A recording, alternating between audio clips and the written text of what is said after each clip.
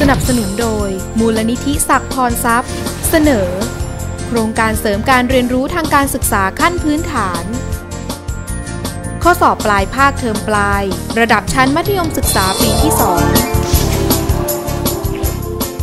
ข้อที่ 13 นะครับ ให้หาค่าของ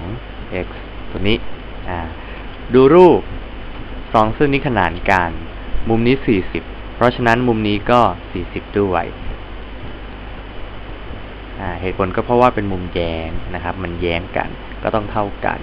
ทีนี้เส้นนี้เป็นเส้นตรง เพราะฉะนั้นมุมตรงนี้เนี่ยรวมกันต้องได้ 180 องศา เพราะฉะนั้นสมการของเราก็คือ x บวก 40 บวก 55 ต้องมีค่าเท่ากับ 180อ่าก็ย้ายข้างไปนะครับ ก็เป็น 180 ลบกับ 40 แล้วก็ลบอีก 55 ที่เลือกออกมาก็จะมีค่าเป็น 85 องศานะครับ เพราะฉะนั้นก็ตอบข้อ 1